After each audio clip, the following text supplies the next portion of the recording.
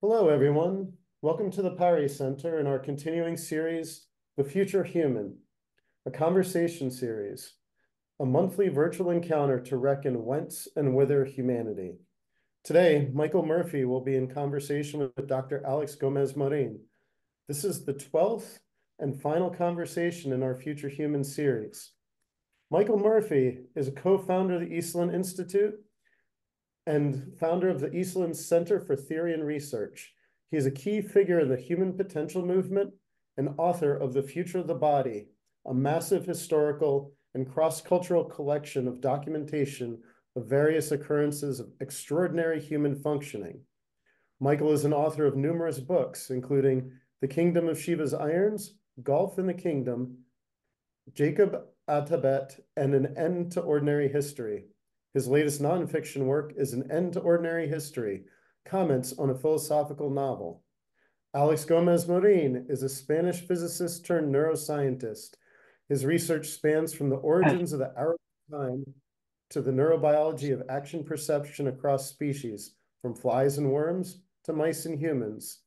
Since 2016, he has been head of the Behavior of Organisms Laboratory at the Institut de Neurociencias in Alicante, where he is an associate professor of the Spanish Research Council. Combing computational biology and continental philosophy, his current research concentrates on consciousness in the real world. Following an hour-long, lively and spontaneous dialogue between Alex and Michael, we will open the session to questions from our audience. I will now hand the discussion over to Alex. Thank you very much. Well, it will sound rhetorical, but it is really an honor, a pleasure to be in conversation with this man, Michael Murphy, whom I have heard of, but it wasn't until Jeff Kripal, who actually kicked off this series, this current series, the Future Human Conversation series. And he was the first of our guests until he spoke to me about Michael's legacy and work and vision um, during an in-person event in Paris. And I and I just wished if only I could complete, culminate this year's conversations with Michael Murphy. And, and here we are. And thank you so much for accepting to be with us tonight, Michael. Well, it's a privilege, Alex. So thank you. okay, there's so much to talk about. Uh, I think the hour is going to fly. Um, I wanted to start by, by this, right? Yeah. Your book, The Future of the Body, it's remarkable in many ways, but my first invitation for conversation, my first kind of question would be, well, this is about the future human in a way, in the present, and also the limits of, of human ability and the human potential movement. But what is so relevant and surprising about this book of yours is that you place so much emphasis onto the physical. Like in our sort of communities, we we tend to go for the mental consciousness spirituality. And here you are talking about sports the flesh. So well why is, why is it so important not to forget that we're embodied and that we have this ability to perhaps transcend our physical limits? Yeah well uh, first a, a, qualification. Body um, as i uh, you, you know, work my way through the whole idea that we are a body in this book is that you have to uh, you have to think about those phenomena that have been described in the great mystical and religious traditions as a subtle body, a soul body. Uh, in Neoplatonism, the ochema, you know, the chariot of the soul in Plato um, or in India, uh, prana, ki, chi.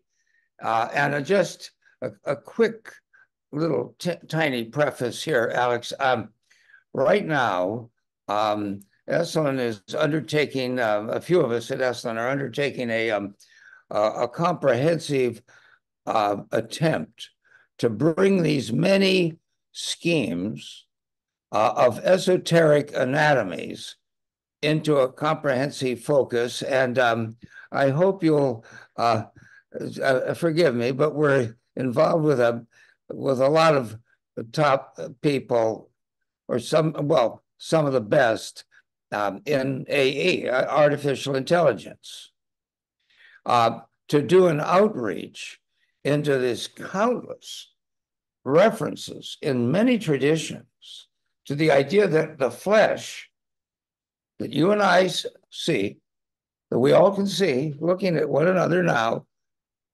is part of a more complex embodiment.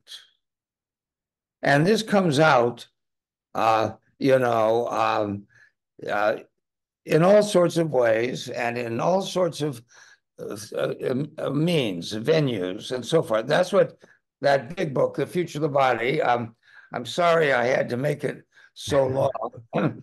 what George Bernard Shaw said, if I'd had more time, I had to work on it. I could have made it a little shorter, but um, um, it does have about 3,000 references because we have made a long-term study at Esalen of the idea that all humans have a powerful impulse, often very, very hidden to them by their parents, by their teachers, by their priests, by their counselors. In other words, it's we are still waking up to a range of phenomena that point to where shamans and contemplatives and yogis um, and some of the great saints, even um,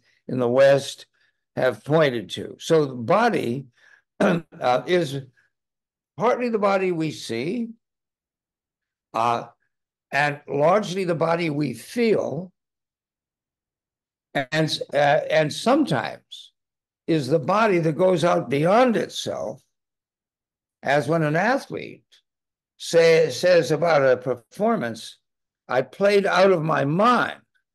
Uh, I was uh, not only beyond my body, but beyond my mind. We are self transcending creatures, and this is part of the evolutionary unfoldment. And then let me just say, Alex, from the very start, I come at this from a philosophic position. I would have to call myself an evolutionary panentheist, you know, not merely a pantheist and not merely a theist, but a panentheist, that the divine is present not only in this world that we perceive with the ordinary senses, but in uh, the transcendent order. But um, variously named, of course, and um, variously disclosed in history, but um, this is the game of all games, this evolutionary drive. So that's where philosophically uh, I'm coming from.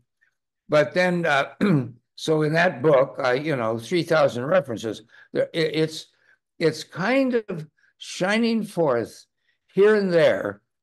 But I would argue that when you look at the intellectual landscape of the world today, it's like a giant jigsaw puzzle, pieces all here or there. But part of our task is to put these pieces together uh, in search of a comprehensive vision and uh, understanding.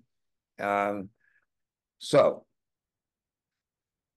my little well, preface is now finished. Well, no, wonderful. Let, us jump there and maybe come back to to the flesh and embodiment, because what's also evident here and in the work that has been going on in Esalen for so many decades is, is this this will to create an archive and a taxonomy of everything that is going on and so i would like to hear about how was how does one do that synthesis plus this famous um, sentence i've heard about nobody capturing the flag so how can we be open-minded comprehensive pluralistic at the same time, one a third element. Let me throw a third element there because you just mentioned evolutionary panentheism.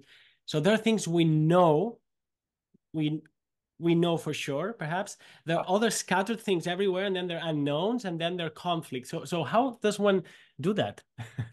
well, well, Alex, that's well said. Well, uh, it's a work in progress. You know, we are uh, part way towards something But I, I, I really believe we have enough preliminary orientation to keep going. We're like uh, the world, the, the, the people who care the most and have the best clues to what's going on um, are like explorers who know, for example, like let's say in the days of Christopher Columbus, we'd heard that there was something. Uh, if you went uh, in the wrong direction, if you went west, you know, across this Atlantic Ocean, you would get to a new world. But we didn't have any reliable reports yet. So although uh, people from Europe had, in fact, been there from, you know, from uh, the Norsemen, and now they're more and more finding out that so many blue blue-eyed uh, Native American Indians, you know, they had to have come from Europe. But in any case, in the days of Columbus, didn't know. So we are like that. We're setting out to explore something um, uh, as explorers do. We have enough sense of the right direction, but we, um, as uh, the various conquistadors come back, uh, they disagree about what's what and uh, uh, which direction exactly, and it's who is entitled to go. And so it's been, Esalen-'s been going 62 years. I started Esalen with my friend Dick Price 62 years ago. I have seen more paradigm wars within within all of these explorers. Uh, you know, they're a feisty um, group, and a lot of them uh, are convinced they have the answers. And unfortunately, you find, and even sometimes they find they don't, but still they're in the right direction. So it's like that. So we have, um, uh, you know, had well uh, hundreds and hundreds of seminars at Esalen through the years, and so there's, I would argue, there's been a kind of filtration of um, uh, knowledge, I want to say. Things we can firmly say, but other things are open questions.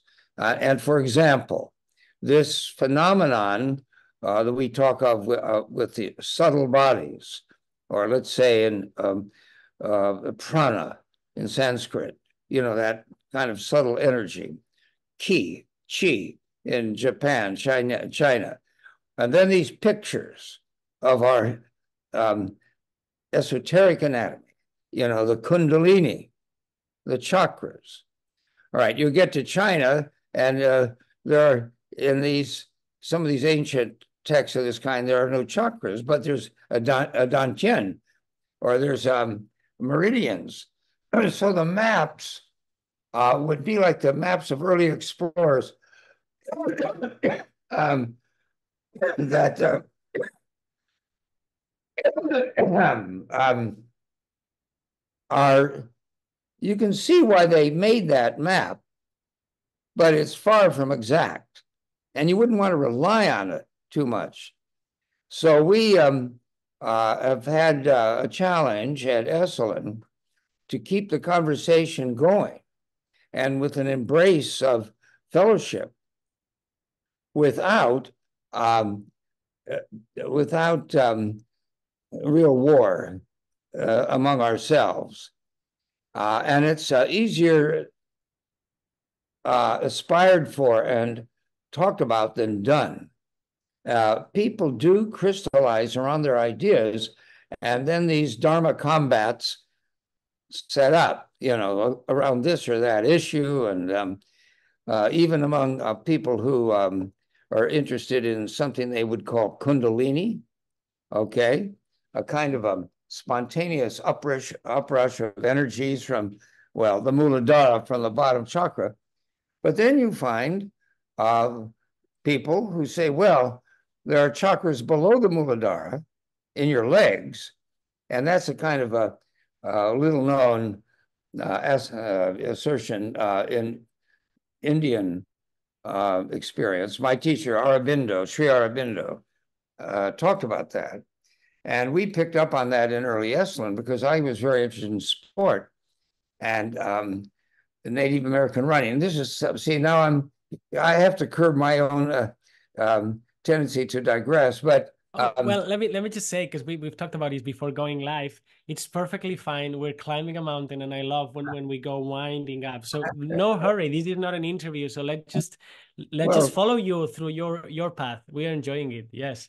I appreciate that a lot, Alex. Um, Well, in any case, um, as finally, these questions have to be settled empirically, seriously.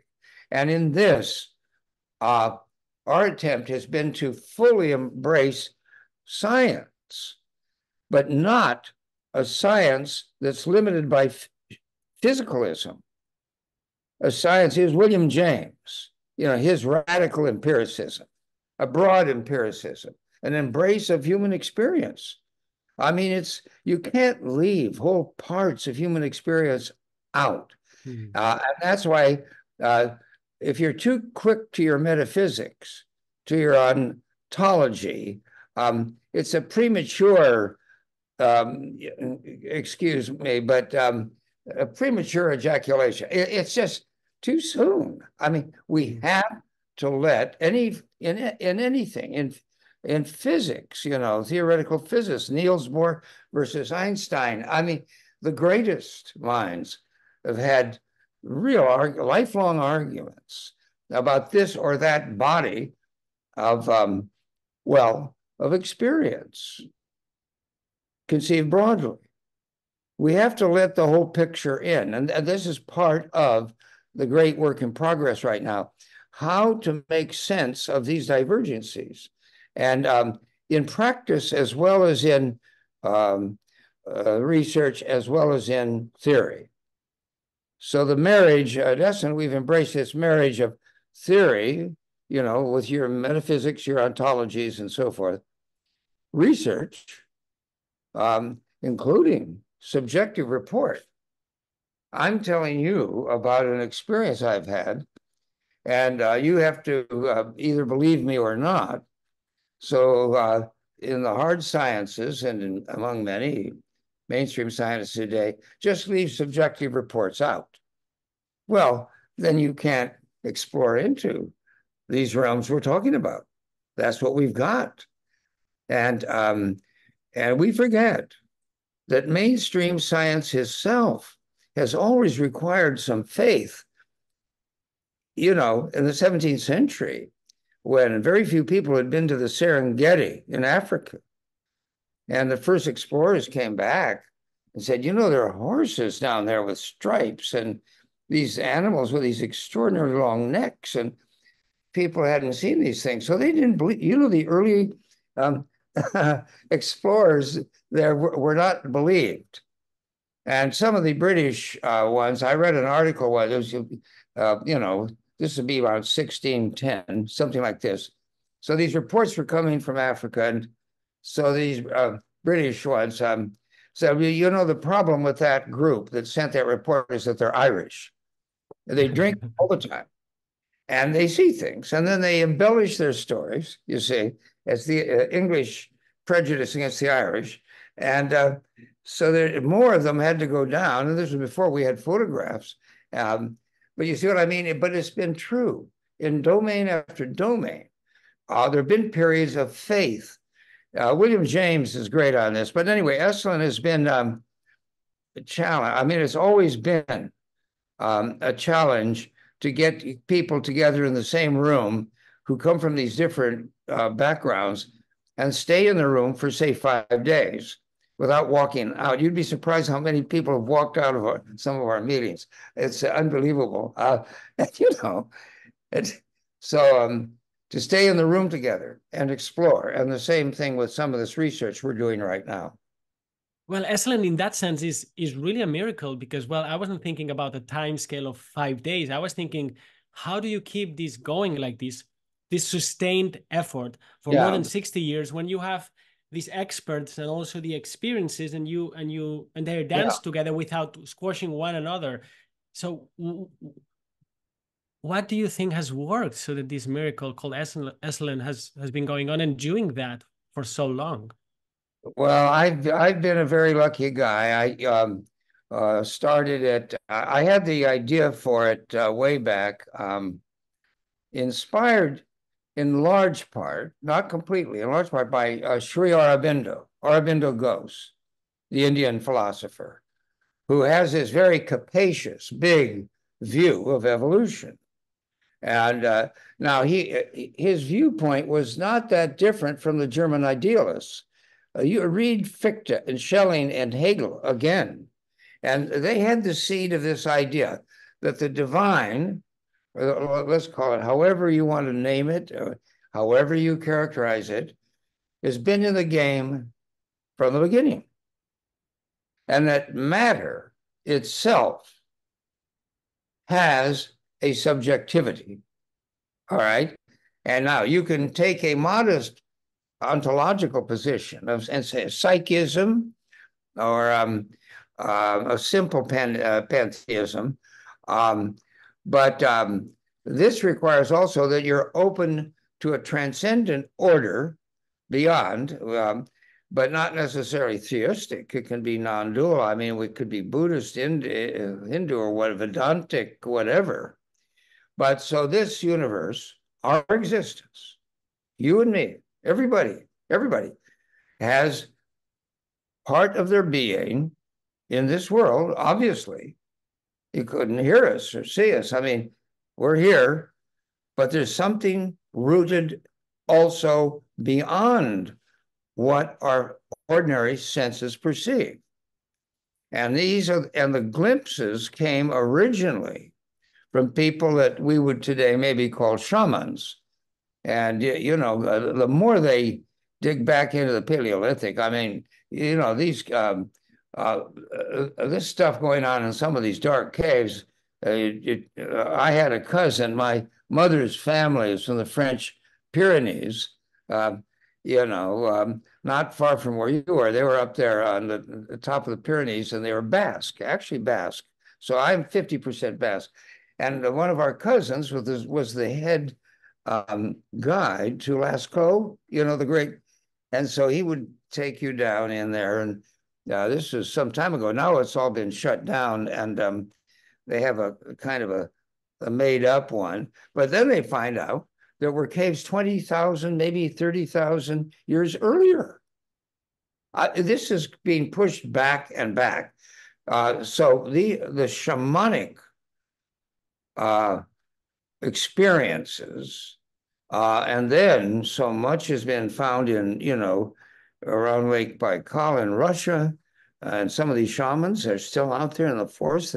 We've actually gotten to know a few people who who have been out there, and um, uh, it's still alive, uh, but it's it's Paleolithic. It's goes way way back. So the, the human race has been glimpsing this, uh, but with no enduring certitudes. It's been glimpses here and there. So here we are today in an era where science has given us an extraordinary certitude about certain zones. I mean, where we still don't know everything about the shape of space, time and space, uh, and even general relativity now is actually being challenged a little bit, you know, about dark matter and dark energy and so forth. But it's uh, we have the certitudes of Newton, we have the certitudes of all the science that led up to Einstein. Then we break out, and my God, the human mind can find out things mathematically before they're discovered physically, empirically. Black holes. Einstein had never heard of a black hole when he wrote the, the general, you know, the, field equations for uh, special relativity. He didn't even believe in the expanding universe at first he called it his biggest mistake. He put in a fudge factor, you know, in the yeah. to get around it. But it turns out his theory was bigger than his his uh, experience. So humans, we humans, outrun ourselves. We get out ahead of ourselves, um, and some of our friends and relatives, even people, even people in our own family, have an experience way out ahead and get scolded and dragged back and at least it's not like the Spanish Inquisition, you know, when you had uh, you get burned at the stake, uh, you know, when you're out too far ahead. Um, so um, we are a self-transcending, exploratory human race, and we've been given up, well, we're being given countless intimations, countless glimpses. But what we need is more ability to bring everyone, not everyone, but enough people together. And I, I see Esalen very much analogous to where a mainstream science was maybe in the 17th century. And Francis Bacon wrote the, you know, Novum Organum, you know, the new Aristotle. I mean, to take it up to date. And uh, it was like he called the meeting to order across Europe. It's time now to put our stuff together. Well, they, I would say, says put together as long as you're um, kosher. You know, you have to be in, you know, the rules that are set up. Um, but uh, Esalen is not well behaved in that respect. It says, no, look, we're open to this other experience. But on the other hand, uh, we're not anymore like we were in um, our hippie phase in the yeah. 60s, where we were, um, when Tim Leary was saying we all should be having LSD every Sunday. well, a lot of people tried it. It didn't work. It didn't work. Um, we should do this and do that. We were, we came in naive, you know, but we endured and fortunately, uh, my family owned the property there, so it's a little bit like party, you know. It's um, where you it's good to own the land, and then you, if you're going to be a nonprofit organization, you got to have a board that is broad-minded enough and sensible enough, adventurous enough, courageous enough to do it. So you better be careful about your board of trustees if you're going to have an institution. So anyway, we we we've learned and. Um, so we're we've survived, and we're still going. Speaking about bodies and and Esalen as, as this place, uh, not just a space, but this place.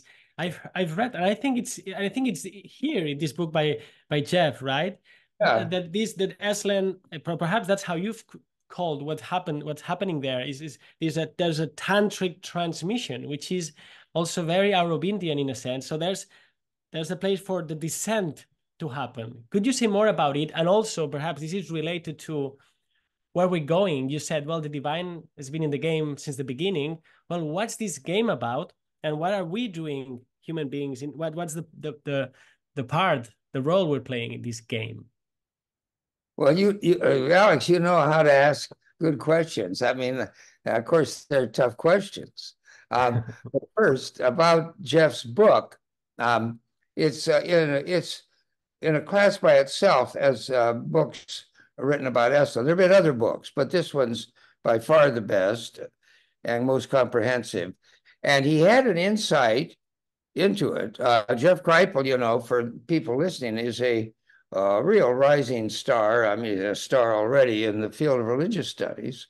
Um, and um, he um, has an enormous sweep of what he's engaged with. I mean, uh, and um, so uh, the the insight I feel uh, one of the several insights, but he had in that book, which needs to be brooded about more. I mean, discussed more. It was a good one. Is that it was part. Esalen was part of an inflection that was happening in the West in the mid 20th century from the Vedanta to the Tantra. Now, all right, what does that stand for? What does that signify? It means that um, when you, uh, it, it, it means that when you become spiritual, you go upstairs, so to speak, to the transcendent. And you typically uh, have second thoughts about your embodiment. God forbid your sexuality because that's always going to get you into trouble. So it tends to be ascetic and so forth. Okay, here's Esalen Institute now. we invented it. It was on this family property. It was my idea. And uh, there are lots of seminar centers in churches and so forth. But this one had a focus, and all these celebrities were coming and it began to look to a lot of critics. The, among its many sins was a kind of licentiousness, sensuality. Uh, and then these amazing uh, projections. I mean, people really lived out their fantasy lives about these great orgies at Esalen, and and we did have these uh, hot springs. And uh, my grandfather had bought all this land down in Big Sur, hoping to build a spa on the model of the European spas. He'd been to uh, Baden, you know, Wiesbaden, and yes. um, the great spas and the hot springs and so forth. Okay, so uh, but it was always a clothing optional. It wasn't. It, it wasn't never a nudist colony. It was all right. newspapers. I caught up with Esalen. We had the first five or six years. Fortunately, we were under the radar of the media. So we, we an awful lot happened down there before the media started jumping around on top of us. But um, and uh, America has this running problem with a kind of Puritan vestige, and you know, uh, and the tendency of even these tough guys to shriek when they see a somebody without any clothes on. I mean, it's so anyway. It uh, okay, and then it got a critique that uh, we were um, uh, and these are the uh, within the community of um, uh, explorers, let's say, academics and scientists and so forth, coming and leading programs at Esalen because you know a lot of celebrities there, including uh, the further reaches of theoretical physicists. I mean, there were Richard Feynman, you know, loved the place and uh, etc. And you know, Nobel laureates were there and so forth. And here was Esalen, this bad place, giving everyone a bad name with all this nudity. Well, it's ridiculous. It, it was just ridiculous.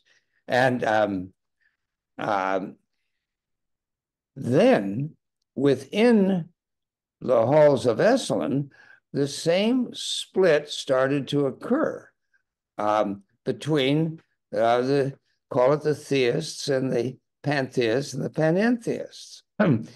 um, but this was a bigger issue than just anything at Esalen. Now, what Jeff did, I think he deserves credit for seeing this and naming it. Uh, now, it's not the reason uh, we started it, but it's certainly a aspect of it that's true. It was an embrace of our entire human nature, including the flesh itself. Um, that you um, okay um, and this is where aldous huxley was very good. He was he was an influence. Abraham maslow or the early um, people at esalen all embrace this idea that everything we experience is psychophysical um, and meditation research you know i and a my uh, pal Steve Donovan put together the first major bibliography of all the meditation research literature way back, and uh, th- there were uh, three thousand studies by that time. This was back in the seventies. By now, there are uh, well many. I mean, beyond that, to 10, 15,000 in top journals studies of meditation, and uh, and we've discovered that uh, if you're going to change um, your consciousness, your body is going to change alongside it. They are married in humans uh, inescapably. I mean, you cannot escape it. And and and and furthermore, it started turning out that, uh, uh, say, these studies of Buddhist mindfulness were, were producing effects that uh, were, had not been really known. For example, a group of dentists in Seattle, they, they did about 20 studies uh, measuring the saliva, the saliva of, of meditators. Well, I personally, I, I still, I've never met someone who meditates to improve their saliva. I, I mean, I've never heard this. I heard of this. That's not why people meditate. But it happens. It happens. and many other things. Um, dozens of things happen in the flesh itself. All right. And if they don't happen, typically the changes in consciousness don't happen either. Hmm. In other words, if you open up, you, you know, you open up in all the le- levels of our being, and I'm we've got to say now down to the quantum level. I mean, you know, quantum physics is in the game everywhere, um, and there's some sorts of effects. We um, that this this would be a dangerous digression right now if I started Look, telling go about, go go ahead, and if we go far away uh, with the rope, well, I'll rescue you, and we'll.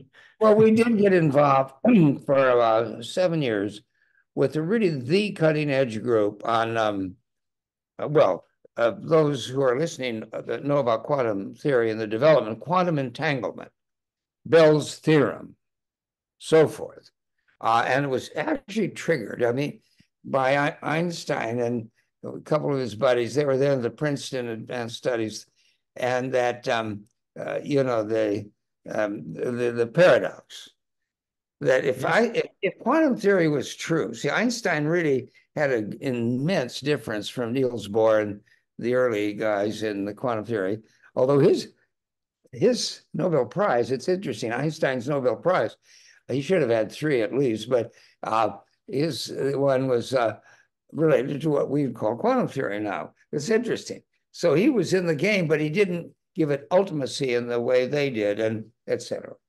So, so at Esalen, um, we did this thing. It started in 76.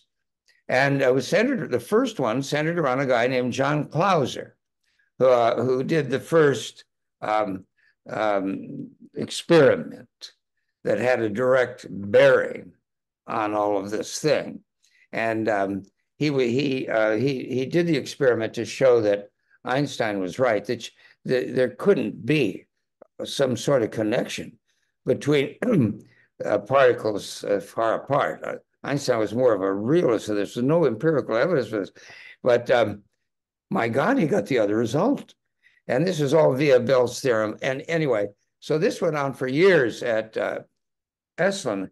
But I only say that to say that we at Esalen have been forced to embrace the physical down to its most, you know, down to the quantum level and uh, quantum computing now. I mean, this is quantum entanglement. It's a mystery. And all right. So, um, okay, meanwhile, the main stuff was into, directly into consciousness. You know, you'd have Buddhist teachers. Uh, we had transpersonal psychology uh, led by Maslow and company, um, and uh, studies of shamanism. But meanwhile, physics wouldn't go away. You couldn't keep it out of the game. Uh, okay, so we were driven, I would say, by internal necessity of the quest itself into, and of course, the flesh. Because, uh, for example, um, here were all sorts of people now showing up at Esalen with something that looked like a Kundalini experience, except it didn't uh, it didn't conform to the Indian models. It was out of the box, but there's no doubt it was uh, an eruptive, spontaneous influx of energies that um, doctors didn't know what the hell was going on. And, um, and now you got to remember, this is in the 60s, and uh, there was, anyway, um, so Jeff, back to Jeff Kripal. In other words, we were driven not only by the philosophical background that I came into this with through, through Aurobindo, who said the divinization of the flesh itself, and that our evolution is forevermore a co-evolution of body and mind, or we would say body, mind, and soul, uh, and, and so forth. Well, and typically in the history of the great uh, transformative practices, this has been heretical. You know, it, it would peak. Uh, the Catholic Church is amazing.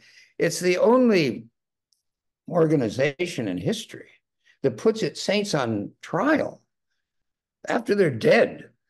And and the premise is they these saints are are presumed to be guilty until proven innocent. Say in American uh, in European law, you're you're presumed to be innocent in, in a democratic society until proven guilty. Well, no, the church reverses it. so what do they get? What they get is a huge anthropology of their saints. And it's filled with, for example, stigmata. Um, not just stigmata, uh, uh, St. Francis triggered it largely. You know, that's way back the 13th century. But um, but also tokens of espousal where the nuns suddenly have a wedding ring. It's stig- a stigmata. And then these other phenomena, and it's shot through with this. So, of course, one of the way, one of the reactions was certainly in the Spanish Inquisition, um, that they're witches, and then they were well, these are pagans who, are they're not nuns, they had a habit on, but they turned into witches. I mean, blah, blah, blah. We, we all know this history. In other words, you, it's the irrepressibility of the body's involvement in ecstasy. Now, uh, now, one, now again, another thing that confuses it is that many people in lovemaking have experiences that look a lot like the highest mystical experiences and never tell their lovers. They don't have any language for it. So, uh, so when all you can say is, "Oh, I feel good," it doesn't do justice to it. I mean, it's something else.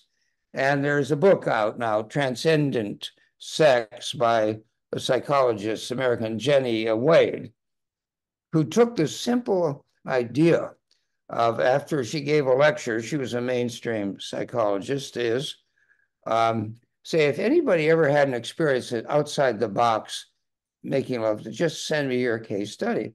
Well, she here's Masters and Johnson, you know, the American researchers in today's dollars spent tens of millions measuring every physical dynamic of lovemaking, but never asked people, well, what were you experiencing?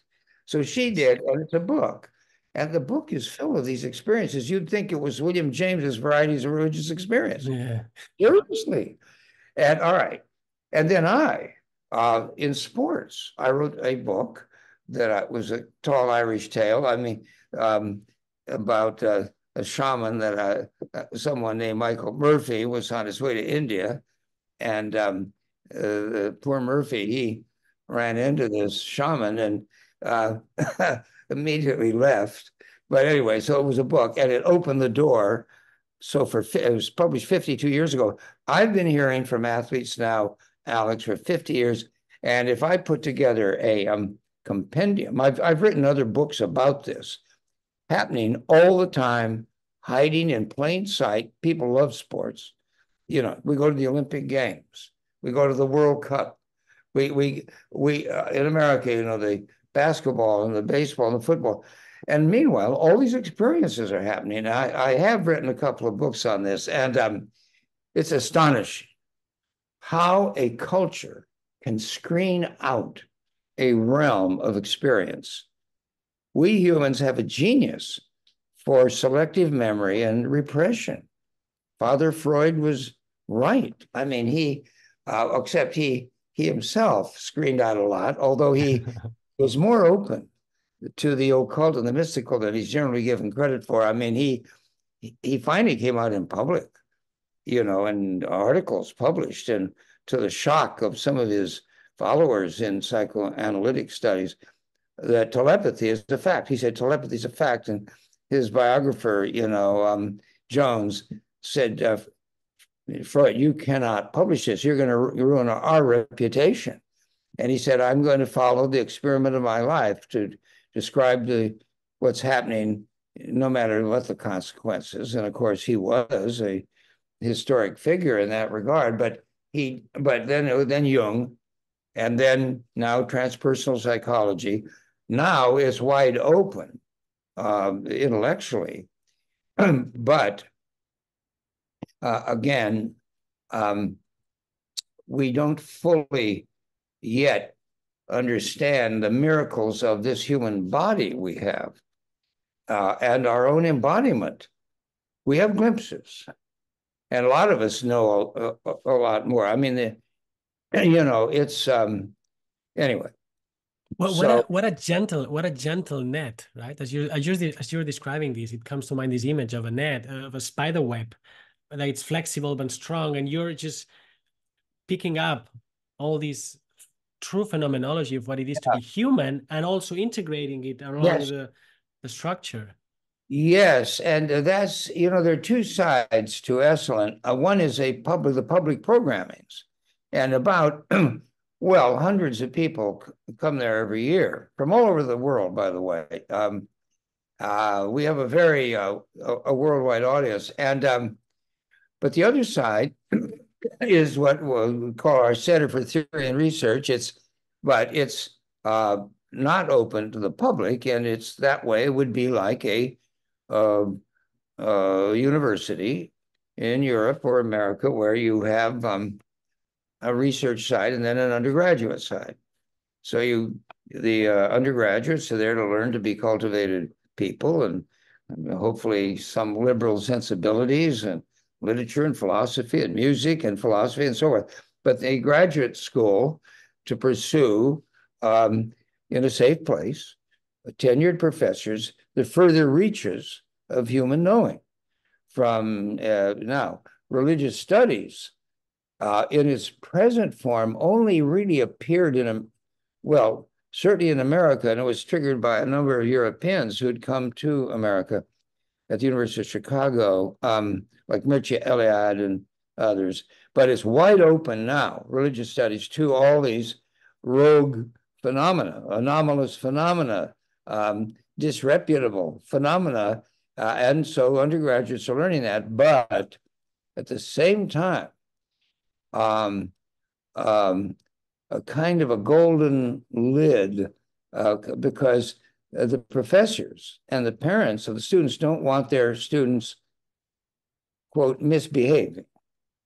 And uh, the dean of men at Stanford when I flipped out. I was just an undergraduate and uh, excited by this guy from Europe, Frederick Spiegelberg, the great, great, uh, uh, deep friend of Paul Tillich's. And he, um, anyway, uh, unfortunately, he he got out of uh, Germany in, in 37 or 38. He came close to being trapped there, but he, um, uh, anyway, so I and a few of us, um, well, I gave up what my family hoped and expected from me. And, um, um, but I stayed in school. So the dean of men at one point told me, he said, you know, Michael, um, um, there are a lot of people here who want to get rid of your Spiegelberg. And I said to him, I said, well, why? He's a stupendous lecturer and scholar. I said, you know why? We, we want our students here to know about these things and be cultivated, but not excited like you are. if it was, it, it, he really nailed it. I mean, it's true. And uh, so there's a lot of, and Jeff Kripal, his, his big new book called The Superhumanities is a call to open up the halls of academia, uh, generally to these so-called rogue phenomena, and to bring all these good minds to bear. Now, that's what we're trying to do with this project with AI and et cetera on subtle bodies. But we've been doing this one way or another, and we've had, you know, tiny little institute out there on the edge of the cliff in California there, yeah. um, barely civilized. And um, we, um, uh, so, but with gathering more wherewithal, more um, um, means, more talent, more money to go after some of the, and it's it's low hanging fruit hmm. for for a professor. Uh, if he wants a uh, a thesis for one of his graduate students, boy, have we got ideas? Yes. I mean, so much uh, that's just we are in our field, I feel, very much like the early 17th century when Francis Bacon wrote the Novum Organum. We're mm-hmm. kind mm-hmm. of like that. You know, Newton was alive already, and Galileo and Copernicus had been there. But, but here was all this stuff, and um, we got to get our act together and go after it instead of spending money. Well, anyway. Let, let me let me ask you. I have a, at least two or three things I'd like to throw at you, and they're they're not easy either. Because uh, one is about you spoke about these celebrities, these great, great, famous um, academics and, and explorers that have gone and, and lived, through, gone through the worlds of Esalen. And so what they did for Esalen and what Esalen did for them, um, and also I'm realizing that the world is full of lone wolves if you if you if you see what i mean by this uh-huh. analogy that the, the world is full of these lone wolves like people who are really deep into their game but it's i find a challenge to put them together so there's yeah. a question about how do you do it to have them together and, and really form a pack despite that they're in it's in their own nature to be lonely and, and deep and also how that when you put them together transforms Esalen, but in turn transforms them who then go back to their places and you know, Esalen goes beyond Esalen in a sense? Those are those are great questions, Alex. Those are very important. Um, well, there are different ways you keep people together.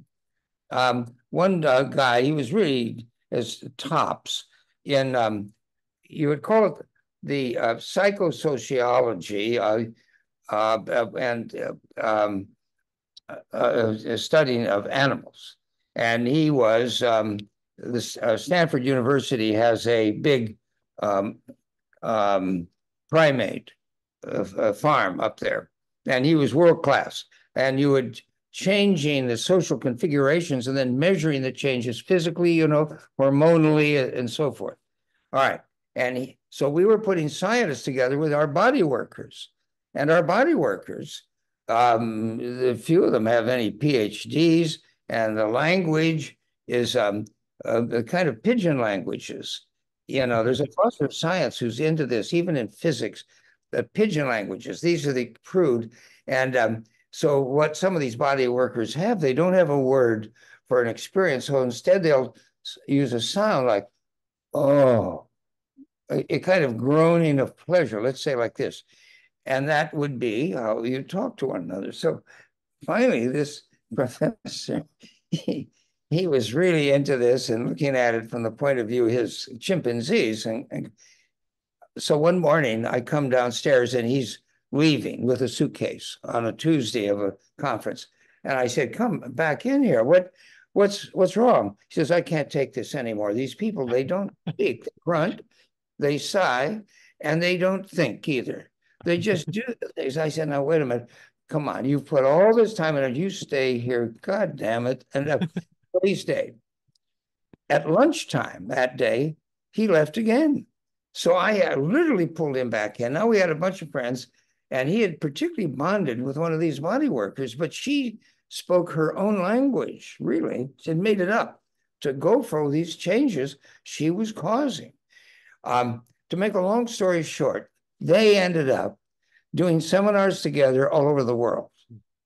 Gig Levine, he was this professor leading uh, world reputation, and uh, Bonnie Bainbridge, a Cohen, who um, uh, was a sh- shamaness, uh, you know. All right. Yeah. Part of it is just our persuasion and sometimes brute force pulling someone back in the room. Okay. But the other way it happens is that, um, and this started in the early 60s, it's, it's like uh, somebody who's got real standing. All right, but he's married and he is, it's as if he goes off to be with a mistress and uh, doesn't uh, tell anyone, but he's so he's in love, but he's living a double life. So this started to happen. So you come and but you don't tell anyone. You keep it a secret, seriously. And this happened. So that was a, a class of uh, people. And then, um, so these this is I, am looking here now at the sociology of this whole enterprise. Okay, then another thing is that um, people are um, natural deal makers. So you know, I can sit out on the deck at Esalen and hear people making intellectual deals. What now? And I, I remember once um, I knew this guy was a physicist listening to another group that I also knew were physicists. And I could hear them both. I, I, I really didn't need to hear this one guy was sitting alone. So anyway, this thing ended and now they're going. And I go up to the one guy sitting alone. I said, um, you, you were listening in with them. And he said, yes. And they showed me I've, I'm a failure. I've gone down the wrong path. I listened, I took notes. They disproved my theory. It's a true story. So this kind of stuff is going on down there. I would call it just um, natural networking, trading secrets. A lot of mm-hmm. academics um, want to keep their things secrets. Uh, I, I would say the harder the science, the more it is physics, the more uh, you want to keep those secrets because, and but and then you get up in, in psychology too. Uh, they're they're generally more porous, but networking. So it's incalculable how many connections have been made spontaneously down there just by having people, you know, and having a glass of wine together, maybe, uh, or uh, going to the hot baths, or after the hours, or just hanging out uh, in different groups, um, networking. So it's been a feast of networking invisibly. And then finally, there are the brave souls, you know, who are out there and uh, have the courage of just tell people and um, say someone like Roger uh, uh, Feynman, Rob Feynman. I mean, he was, you know, I mean, my God, he's a top, top of the of the world there, and um, he was completely out front about everything. And the same with Maslow, Aldous Huxley. Uh, so an awful lot of intellectual celebrities were coming and were brave and open. But an awful lot went on under the table, so to speak. Let, let me ask you, because I knew this would happen. I would talk to you forever. Let me ask you two more things. Let's see, because we should, I should, I should start wrapping up and and then allowing our our you know our people to also ask questions but since we spoke about the, the sociology of it i'm also intrigued by the politics and the fact that esalen also being at the edge physically at the edge and at the edge of all of that you also got involved in politics right why what, what a responsibility well because that's that's already too much it's already too much what's going on and on top of it you go for yeah. that well, okay. Uh, the way it happened, uh, our biggest involvement, I mean, first of all, a lot of it was out of, um, we felt we had something to offer immediately. We had black, white encounter groups, uh, and, you know, encounter groups telling truths, but exploring particularly unconscious racism. And that started in the uh, mid 60s. So they're very early. Uh, and a, a black psychiatrist, Price Cobbs, and George Leonard my uh, dear and deep friend, who was the West Coast editor of Look magazine, they started these. And it came naturally to us, okay, directly as a cause, and it morphed. It went on for about three years, these groups. And they were amazing groups of folks here, black and white, together in these hot tubs when it was against the law to be in the same swimming pool, still in the late 60s in the many southern states. All right. So that would come naturally out of our calling. But the biggest involvement of all came serendipitously with Russia, because we started hearing that in Russia they were pursuing the same things we were, calling human potentials hidden human reserves. So I went over there in 1971, met a lot of these crazy and wild folks doing the damnedest experiments. And it grew and grew and grew. And along the way, we got to be friends with people in the Central Committee and a few in the Politburo who were doing these experiences with healers and parapsychology. And we actually conducted an experiment between Moscow and San Francisco in telepathy with his famous telepathist. And he, he got the stuff. I was the center. I mean, it, it was unbelievable. And it's all right. And then came the um, um, well, the awakening within the Central Committee and Politburo that communism was not working. And uh, people don't realize it, it, it was coming way before Gorbachev. It was, uh, and the, the whole, and so they were telling us because in these programs at Esalen, we're honest with each other. So we were finding out. So pretty soon, we had KGB and CIA guys together down there. They knew. They were telling each other stuff. So we got involved in this um, inadvertently, really.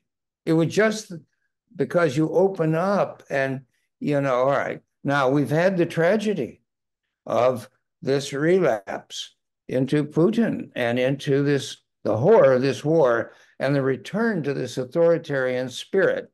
So it's been probably um, in my life and activities my biggest disappointment to see this awful turnaround, you know, and it's um and it's right up there with what's going on now in Israel with Ham- Hamas and all of that, because um, we've had um, you know so many people from Israel come to Esalen, and so many of the leaders have been Jewish. So we, uh, you know, our heart is with them there. So, in other words, the place um, has been led by events into the political. Now, we could uh, then we say, well, people will say, well, why do you have to do it? Well, it was doing our uh, yes, following yes. our what I would say the urge to help out. Um, although it was not our main intention in the beginning but uh, the, the final, I would say, if I wanted to get very philosophical about it, is that you can't separate humans into separate parts. I mean, we're all political. Every family has its politics, and um, and there's been quite a huge literature on this, and um, it's um, so sociology morphs to politics morphs. Yes, yes. You, you're you're enacting as just explaining this the very theme we're, we're trying to explicate here yes the, this this interrelatedness final one in ending i want to talk about death because and we, we we cannot end without at least mentioning this because at the center for theory and research you had several right. lines and one of them was survival and well it's right. it's so important not just academically but well we're oh. all going to die so what's going to happen what right. what what survives if anything right all right well for 13 years we had the formal um, meetings annually and all sorts of meetings in between it's resulted in a number of books um, you could put it up on your website uh, beyond physicalism ed and emily kelly and uh, um, uh, there, there, there, there's it's uh, it's produced a lot of ripples. Uh, there's a lot of this at the University of Virginia uh, mm-hmm. with archives of uh, the two big archives. One is these near death phenomena. Now, um, when the William James was alive in the Society of Psychical Research, we did not have the resuscitation abilities we have now, nor did we have these eight hour surgeries on the brain or the heart where people are flatlined on all the tests, the brain waves and heart and then they then they're revived, and they then describe floating around in a subtle body and describing. I mean, there's quite a literature. I mean, uh, the Journal of Near Death Studies has been going for 40 years, and um, that's a lot of evidence. And the people involved in that, Bruce Greyson, the longtime editor, was coming to us at every year. But then the big archive of Ian Stevenson, memories of children, particularly um, particularly uh, two to five, who want to talk about a past life. And they have 2,600 case studies there in Virginia. So, okay, so this is empirically based research, the same mandate. so, death is in play, seriously, and survival. there's a huge body of experience that you have to contend with and challenges uh, hardline physicalism. It's how come people can do this? What's going on? And then you have the, the literature of from Buddhism and so forth of Tibetan Buddhism about dying, and you have hospices, well, in Europe and America, where um, you know hard, heavy hitting physicalist scientists themselves are with their family members, you know, doing Buddhist crossovers. So, you know, these are performative contradictions. You know, you're advocating um, your atheism and your that when you there is no life after death. Meanwhile, you're acting as if you yes. think yes. Now, of course, that's an ancient. With the birth of modernity, I mean, Voltaire. You know, Voltaire was more religious than anybody gives him credit for. But, but he, he just didn't believe in the church anymore, and um, etc. But yeah. um, so from the birth of the modernity and um, science, you had this other side running alongside. Anyway. Well, I I have to stop it here and, and give you some time with our audience. Um, but it's fascinating. Thank you, Michael. I'll hand it up, over to the other Michael and we'll continue. Uh, this is great. Thank you so much, Alex and Michael. And now we're going to move to the next session of our program, which is question and answers. Uh, if you have a question for Michael um, or Alex, please use the raise your hand function to call attention to yourself. And please, uh, as we are limited on time, please keep your questions tight, succinct, and ideally one question per person. And with that, I'd like to bring Todd, Todd Bureau into the mix. If you can unmute yourself, I'll add spotlight. And okay, well, before the question, Michael, um, first, deep gratitude for what you've given to humanity and the gift that Esalen is to humanity having had the deep privilege of being there, one does feel it's a portal that uh, you're sort of dancing in the divine nature of human in, um, inquisitiveness and profundity. So I thank you for that. And I thank you also for your chapter in Beyond Physicalism that gave me a philosophical home when you articulated um, evolutionary panentheism. And one of the greatest um, observations from Mr. Kripal when he was in Pari this last year to see he felt a great kinship with the spirit there with Esalen. And I took that as is in a magnificent compliment for the efforts that go on with Pari. But my question to you is, I know that Roger Nelson uh, of the Global Consciousness Project spent much time at Esalen in the early days and that the Global Conscious Project was sort of an outgrowth of his inquiries in his previous work. But how do you feel that the Global Conscious Project in its form then, in its newer form now, uh, with wider data sets, et cetera, how will that sort of penetrate a wider public to maybe open these questions up that there is something beyond the physical? Just your thoughts on that, please. Well, Todd, I oh, I thank you for the uh, for your warm statements. I, I I don't know about them. I haven't kept track, so I'm unqualified uh, to speak. Uh, seriously, um, you know, things get hatched at Esalen. It's impossible for me to keep track of it all. It's um, it's been very generative. So uh, I'm sorry, I, I I simply don't know enough to to respond. you but gave thank- it the that Esalen did, so I think it's doing wonderful things. But thank you for that. Yeah, well, well, okay. Well, you've uh, you've uh, you've pushed a button now. I'll keep alert here if anybody's listening that can send me some stuff, good. I'm I'm wide open. Great. Thanks so much, Todd, and thank you so much, Michael. Uh, if we could move on to Chris. I'll spotlight you, and if you could unmute yourself. Uh... Um, hi, Michael, Alex, many thanks. Um, I've been a fan since the 80s, Michael, so it's very exciting to hear you speak. Um, and you've lived up to what I thought you might do. So that's impressive.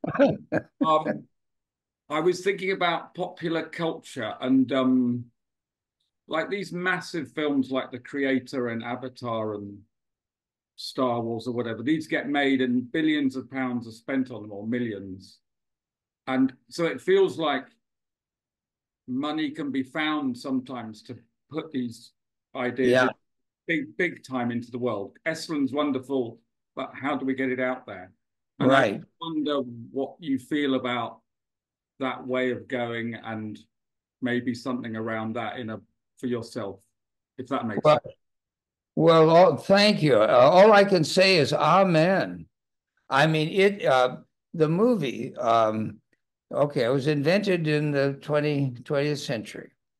It has grown into a stupendous instrument, um, and it's frightfully underused and is got a dreadful shortage of, of folks who, um, well, who would resonate with all of us gathered here today. Um, so all I can say is amen. We um, uh, have um, we have been home to um, some movie makers um, who have come down to Esalen to get leads for uh, certain movies that have tried to move into these territories. But it's uh, it's it's it's waiting to happen. It's waiting to happen, and um, I you know so certain people venture in like uh, Kubrick's 2001. You know, uh, as a giant um, metaphysical um, um,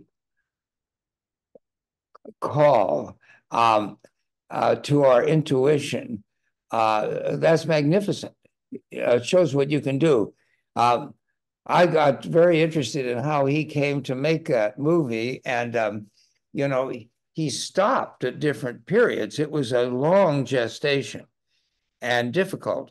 And he, um, what you need now to pull the, the uh, tremendous wherewithal they have together is a formidable um, dramatist.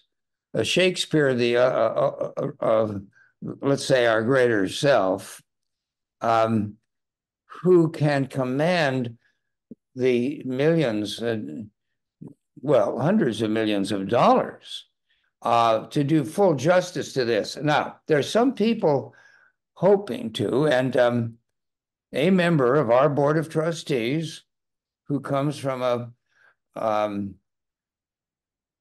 well, an extremely wealthy uh, family, um, has had a dream of creating an Esalen movie studio and go after this. All I can say, we've had dreamers around the edge, but we we haven't done it. You're absolutely right in this. Where there is no vision, the people will perish. And right now, the world is in a very bad turn when we look at Russia and Hamas and Trump. I mean, when we look at all this, and where there is no vision, the people will perish. And movies could do something fantastic. So I totally agree with you. We are, that's all I can say is amen. And there are a few of us, you know, who um, are trying to do something, but um, I got involved in actually making a movie of that first book I wrote, Golf in the Kingdom. Now, it was a little teeny independent thing. And um, I had, um, um, uh, to give you an idea of how tricky this is um, for some of us, um, I started selling options on that book to movies before it was published. People got word of what I was doing. So I started uh, year after year for 40 years or more selling options for a year. And, and nobody could figure out. And finally, we got around to Clint Eastwood. And you would think he had the wherewithal. And he, so we, I succumbed and sold it, the movie rights to that book, Golf in the Kingdom, which has been translated into nine languages. It's crazy that uh, how successful that book has been, but it's opened many doors to me into the sport world. So it gives a lot of opportunities. Anyway, he worked on it for 10 years. I got to tell you, he said, I, it's, I can't do it. It's beyond our reach, me and my gang. And I honor him. Uh, he plays within his game, you know, and um, he and he's he's he's a good craftsman. I mean, he's made some good movies. Um, but um, so these two gals um, picked it up, and I got involved. And soon, I was assigned to the perimeter of the movie and told to stay out of things. And of course, this is the fate of writers in Hollywood, because you know it's like a military campaign with maybe 30 people on point in a big shoot, you know, and if you got a lot happening, and you need a you at the very least you need a powerful director. And um, anyway, um, they thought my uh, interventions uh, had to be dealt with and, and kicked me off the set continuously. I was kicked off, even though it was the book I'd written. And uh, so, but I understand them because um, it's a it's a it's a complex uh, art form involving a lot of disparate talents. I mean, the temperament, say, of a cinematographer compared to a film editor, compared to an actor, uh, these are, it's like, these are species differences. It's like, you know, yes, we all look like we're humans, but you get a speciation event on a movie set. I mean, you got this one says, now look, you're not doing it. And pretty soon, this passion, these conflicting passions of gifted craftspeople, it uh, reenacts the problems we've had at Esalen, but um, on a limited budget. And you can't mm-hmm. just horse around. And it's you're, you're spending a lot of money. So it's a difficult birth. Uh, the big, this, our big vision that we're talking about here and uh, undertaking and exploration with movies. But uh, amen someday someone's going to rise up who who has the commanding power. Somebody like an Orson Welles or Stanley Kubrick, um, um, who could pull this stuff together and do it. I mean, there've been some great European uh, uh, directors and some Russian ones, but they have not had the ways and means and the money that. Oh God! One thing about Hollywood, they know how to raise a lot of money. It's um. Anyway.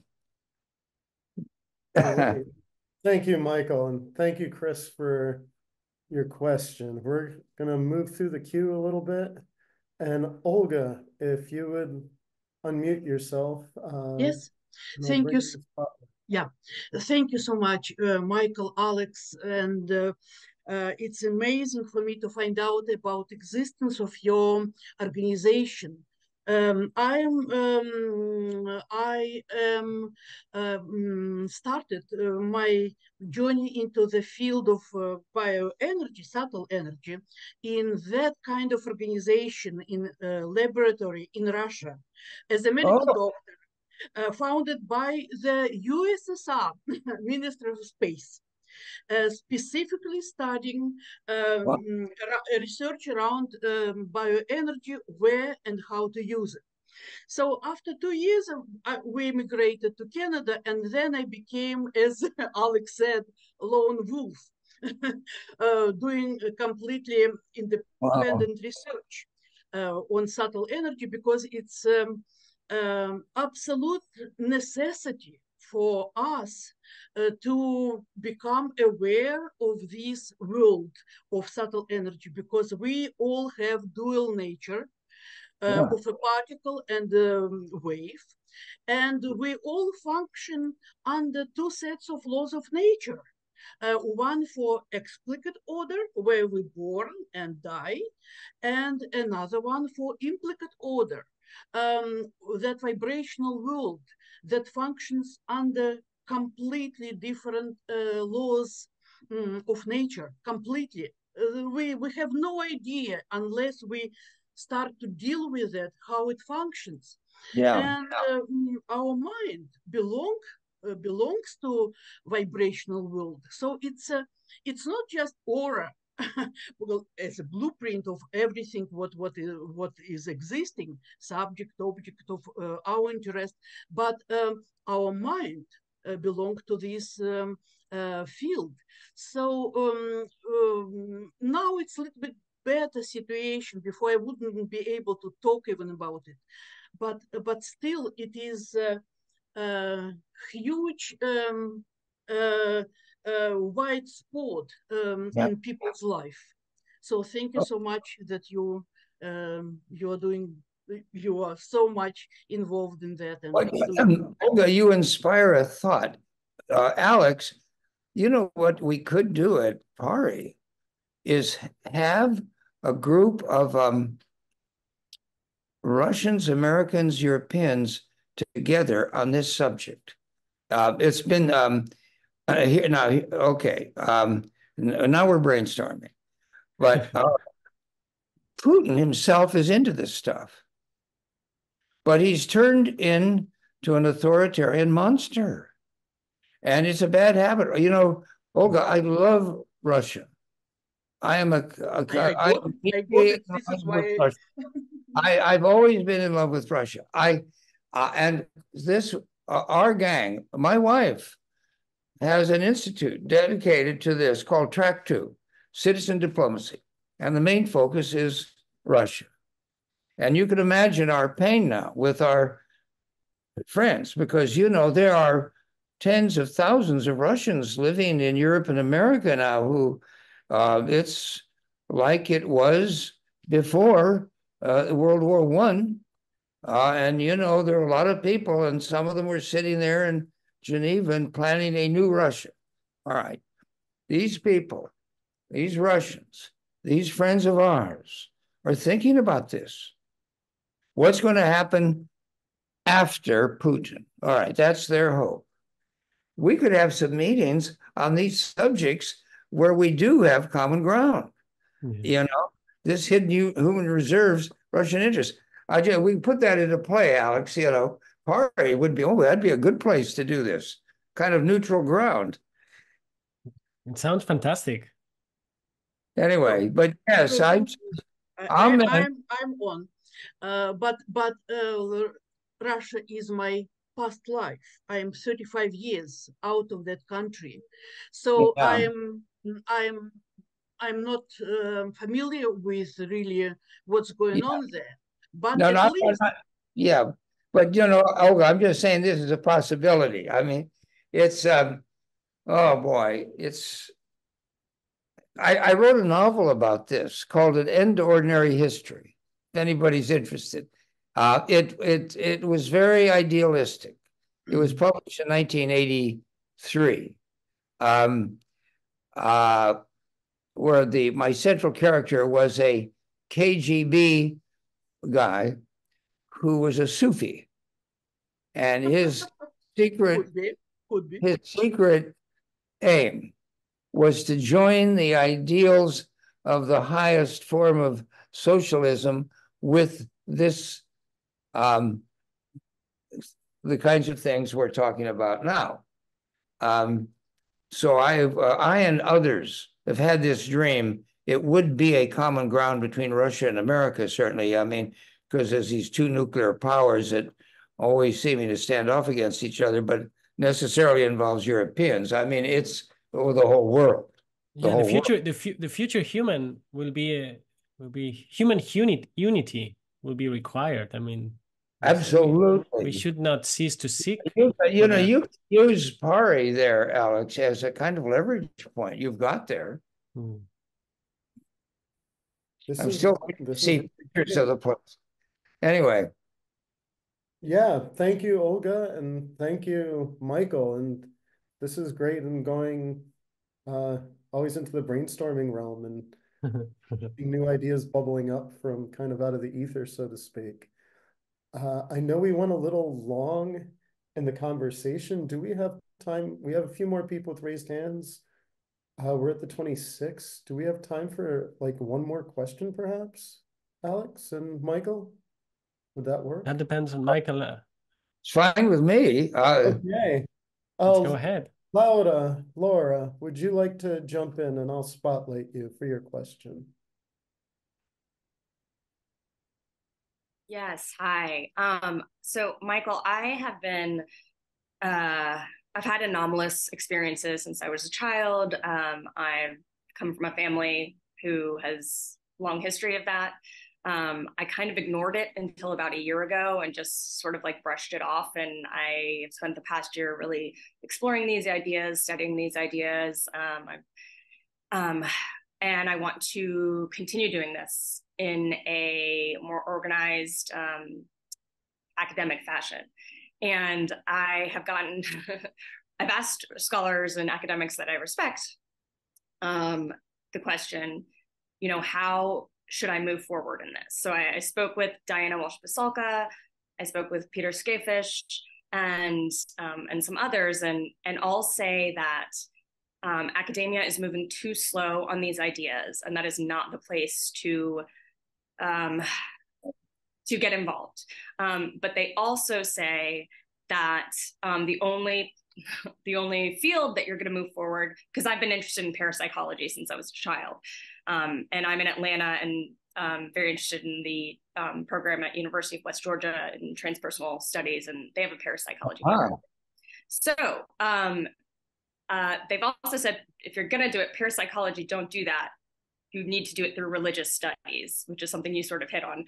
But that's not really where my interest lies. So I feel like I'm getting mixed mixed uh, yeah. signals to where I should go. Not that I need you to solve my you know my life's problems, but I'd love to know what your thoughts are. And someone who is in a position to make a life big life decision right now and has the freedom to do that, and really would like to move forward in studying these experiences and ideas. Oh boy! Well, um, and your name again is. My name is uh, Laura. Laura Faibois. Well, Laura, well, listen, that's a huge question. I mean, I have to be uh, uh, careful with such a big question. I, um, uh, being um, uh, where you are in life's journey, um, the first thing I have to say is nothing more uh, wide open to have a great life is in this. All right, then how do you start? Um, uh, and you, okay, parapsychology as a field is almost dead. The American Society of Psychic Research, I think they still have one walk up uh, office somewhere in the bowels of Manhattan. I mean, with one, like, I mean, it's these organizations that were carrying it in the old days are, it's amazing how mainstream academia has smothered mm-hmm. these uh, young uh, things in uh, okay so okay we go to religious studies. Now I, I would have said yes it, within the field of religious studies they have the mandates. But you have to deal with the academic re- requirements. I mean so if you're serious about a, you know that's a long haul. To, it's like being a doctor or a lawyer. I mean you have to go to graduate school you have to learn that language. Um, Sure. Boy, um, we'd have to have a longer conversation. I um, I'd, I'd have to know more about your background and so forth. But there are a lot of avenues forward. I mean, for example, I have willy nilly been summoned by coaches and athletes. Now, I, you know, seriously, right into the NFL. If you've ever you know, watched the football games, it's different on TV than down on the field. I mean, it's for those uninitiated, you get down on the field of an NFL game and you see these guys, you know, 245 pounds that can run a 100 meter dash in under 100 seconds. And then you get to Isaac Newton, F equals MA, you know, the momentum. You don't want to be tackled by one of these people. And I've had buddies who've actually run out crazy guys, you know, uh, too many beers, uh, run out during the game and get just clipped and carted off the field. It's sad to see it. It's like a species difference. I mean, you can't get out there with the athletes, but I'm summoned. And all right, now there is a an emerging field. I'm using this as an example of what's going on. An emerging field of um, it would be like um, counselors now are permitted, uh, certainly in California, without an MD uh, and without uh, the certification of a PhD to give psychological counseling.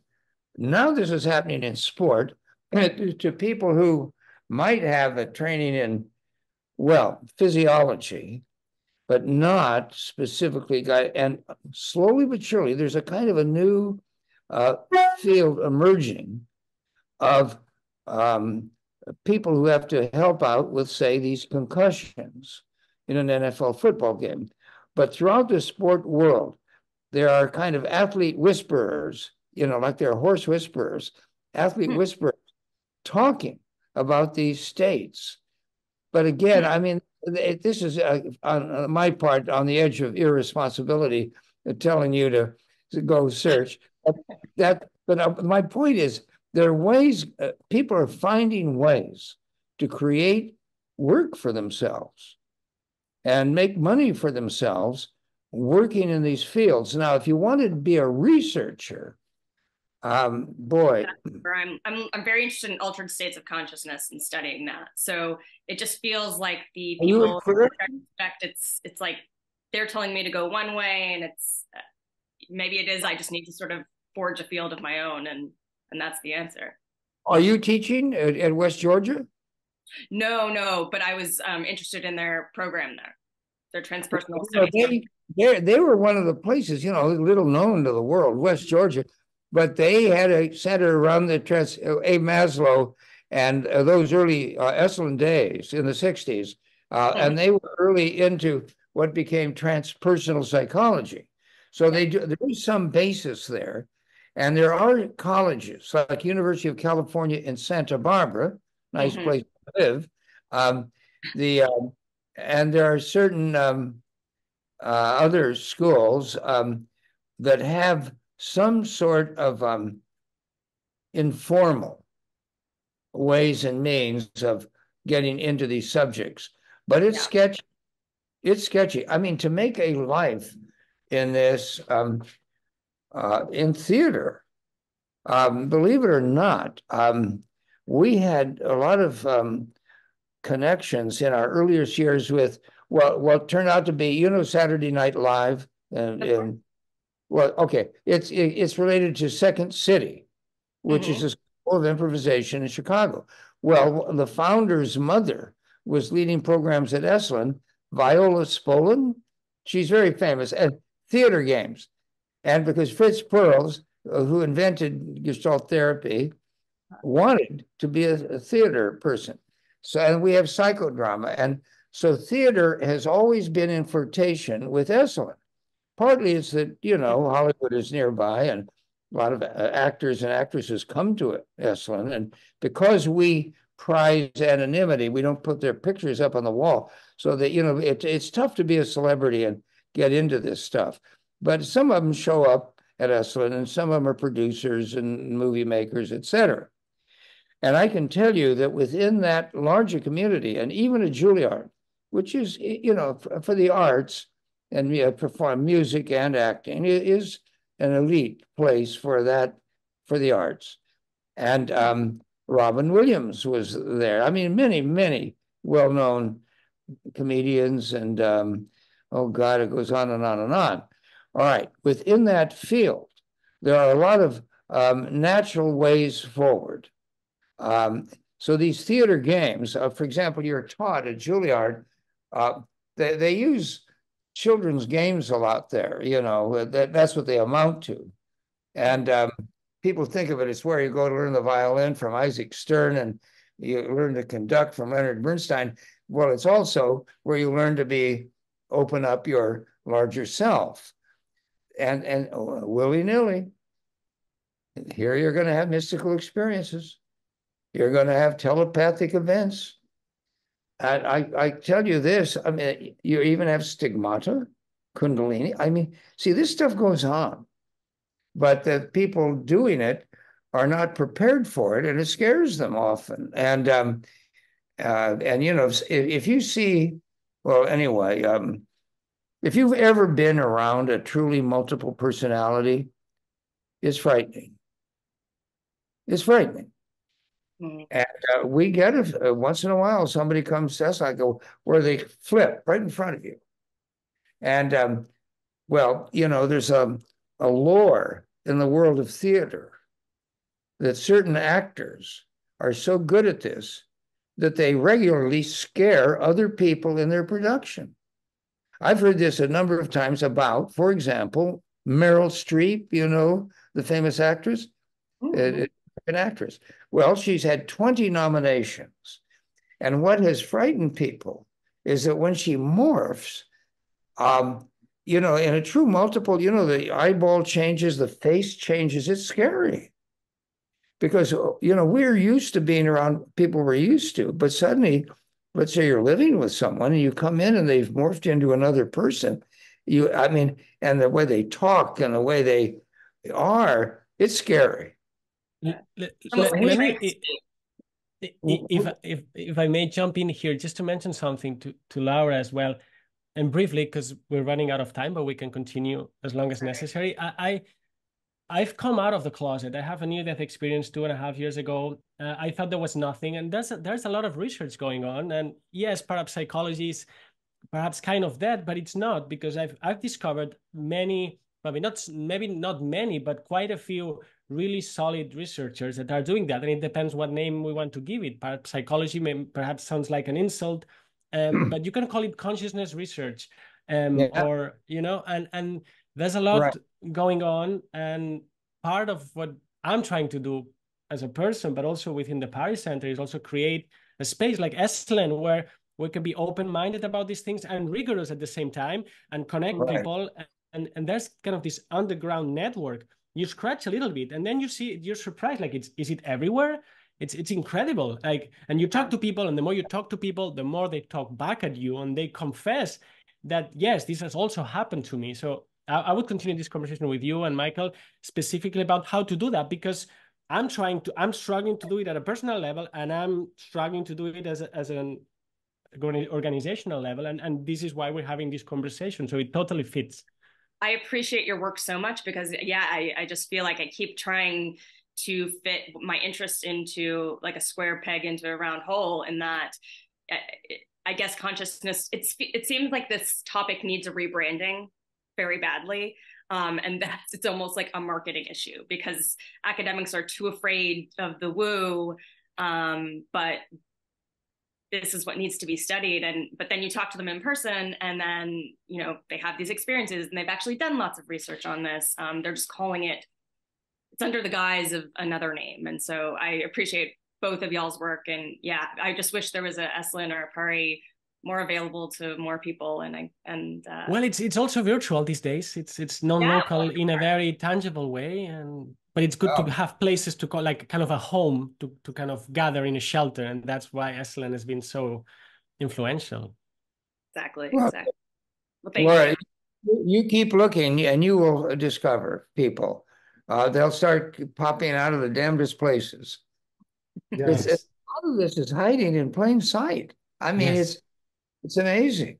Yeah, it, and that's started to happen. It's just, I guess I'm still. Um, I mean, I know Right. I, there's so much stigma and fear attached to this topic, and um, so people are are hesitant to talk about it. But yeah, it's. Uh, And let me stress this. Let, let me stress we, we need you and, and, and, and you need us in the sense we, we need the experiences and the experts to talk to one another and blend and and when an experience happens to an expert or when when an experiencer becomes expert in that experience this this is what needs to be m- remarried again and and so don't I mean it's great we can talk about these things because then we realize we're all in the same boat this is, Yeah. happens to everyone one way or another this happens to everyone mhm.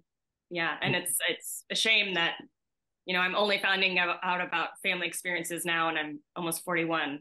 So it's like there's been this shame that's been put around it, yet we've all been experiencing it. So, um, anyways, I think things are starting to change, and I credit both of you all, Michael, very much so um, for your work. So thank you.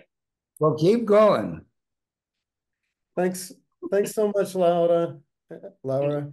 And yeah, um, this is where the rubber hits the road, right? Like this is where we start trying to apply it. And I would say, pay attention to those coffee shop conversations or the curious people you run into. I've Yeah. run into some really, just like what Michael was saying earlier about trading secrets in these hidden networks. If you're open to it, you know, sometimes that person's right beside you in a coffee shop and you, you never know, you never know who you're gonna run into and what their interests are. Yeah. So with that, Alex, Michael, are there any um any final words? I have a few announcements, but is any any wrap up or anything that you guys want to I have two big words, two big words, which is thank you. Thank you. Same, uh, same with me, Michael. I, thank you very much. I mean, this is a ton of fun and uh, to be continued. Yes. Yes. Thank you both so much. This this is great, and thank you all for your questions because this is really where everything comes together. Um, the last um, this is the last future human of uh, 2023. So with that, I do have a few announcements to make.